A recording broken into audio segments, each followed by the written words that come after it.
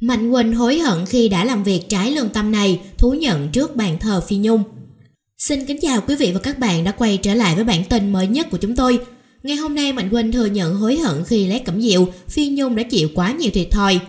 Mới đây, theo dự định của nam ca sĩ Mạnh Quỳnh, sắp tới anh sẽ lên đường đến Hawaii, một trong những nơi mà Phi Nhung thích nhất để cùng anh ôm lại kỷ niệm, cũng như coi đây là một niềm vui nhỏ nhỏ dành tặng cho người tình sân khấu của anh. Anh mong cô sẽ xem đây là một sự trả ơn cho những ngày đầu tiên cô đã nhận ra tài năng của anh và từ đó anh học được rất nhiều điều hay cũng như lẽ phải và công ơn dạy dỗ anh khi bước chân vào showbiz và để lại những bản tình ca trữ tình ngọt ngào để đời. Cho đến ngày hôm nay anh chia sẻ với giới truyền thông một cách rất thoải mái. Nhìn thấy khuôn mặt anh hớn hở hơn vì có lẽ anh háo hức chờ đón chuyến đi này. Chia sẻ thêm về những dự định của mình, anh cho biết Đầu tiên tôi sẽ đặt vé máy bay dành cho hai người, một bên là di ảnh của Phi Nhung, một bên là tôi bay thẳng qua đảo Hawaii và thuê một khách sạn tại đó để nghỉ dưỡng. Sau đó tôi và Nhung sẽ đi ăn cũng như ngắm cảnh tại đó. Được biết mấy lần trước đó lúc anh đi cùng gia đình, có lúc đi cùng Phi Nhung, nhưng giờ đây anh chỉ đi một mình và kèm theo đó là di ảnh của Phi Nhung.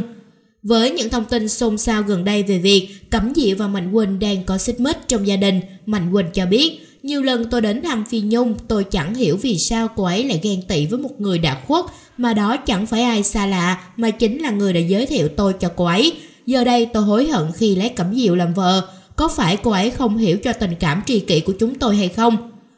Trước đó Cẩm Diệu cũng đã từng làm rõ vấn đề này, Cụ thể Cẩm Diệu đã vô cùng phẫn nộ cũng như cô ấy thái độ rất tức giận vì ca sĩ Mạnh Quỳnh đem chuyện riêng tư công khai cho giới truyền thông báo chí. Qua đó Cẩm Diệu cũng không còn gì để giấu, cô cũng tiết lộ hết lý do vì sao cô không cho Mạnh Quỳnh đến thăm Phi Nhung tại tỉnh xã Giác An. Nếu Mạnh Quỳnh về sớm quan tâm lo lắng cho con cái và gia đình thì tôi không nói làm gì.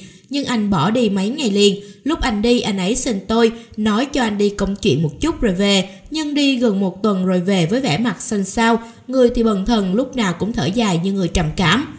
Tôi đã khuyên anh hết lòng rồi, anh ấy là chồng mà tất cả mọi chuyện trong nhà đều một mình tôi làm. Kể từ khi Phi Nhung mất, gia đình tôi xáo trộn cả lên, Cẩm Diệu nói trong nước mắt.